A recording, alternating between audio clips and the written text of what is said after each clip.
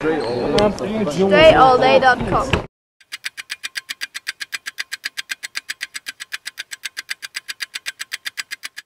So in this drill, I'm going to do two wide crosses, then three tight ones. So three tight, one, two wide, and then three tight dribbles.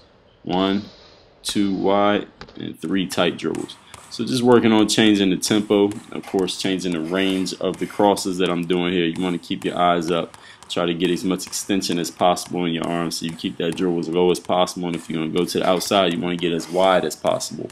So as I say in every ball handling drill, find ways to challenge yourself. You're going to lose the ball when you do dribbling drills. You might not be perfect at it when you first start doing the drill. That's okay. That's a part of learning in anything. You're not going to be perfect immediately. It's not going to come to you in a week or two weeks. Might not even come to you in a month. And if it does, you still got to keep working on it for years and years to stay good at it. So even if you get good immediately, you still got to keep working to stay good. So don't buy into anyone telling you it should only take this amount of time or they did it in that amount of time. As long as you're playing basketball, you will always be practicing. It never comes a point where you can say, all right, I'm good. I don't need to practice no more. So in that video, the simple daily dribbling drills, when I say you need to work on this for five years to be good at handling, even if you get good in two months, you still got to keep working on your handle in order to keep it. You're not just going to stay good at dribbling if you stop working.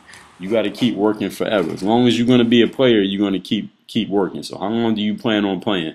If you plan on playing for at least five more years, then yeah, you're gonna be working on your handle for five more years. Hit that thumbs up button and like this drill. Any questions for me, leave them in the comments. Work on your game. Dre all day.